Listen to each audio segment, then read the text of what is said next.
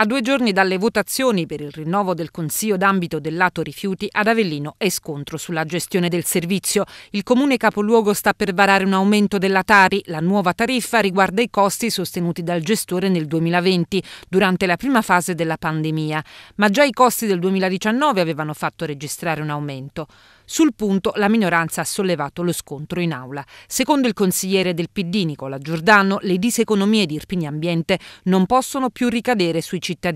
Va rivisto il contratto con la società di servizi. La chiusura della discarica di, difesa, di, di Savignano eh, porterà a una lievitazione dei costi, la mancanza di impiantistica porterà a una lievitazione dei costi, ma rispetto a questi costi ulteriori non abbiamo capito come sono i ristori sulla raccolta differenziata. Noi abbiamo un contratto che prevede esclusivamente superiore al 65% una ripartizione degli utili al 50% tra, e, tra il comune di Avellino e Irpini Ambiente, questa cosa è superata e c'è necessità in questo momento di riverificare i nostri rapporti rapporti con Irpini Ambiente.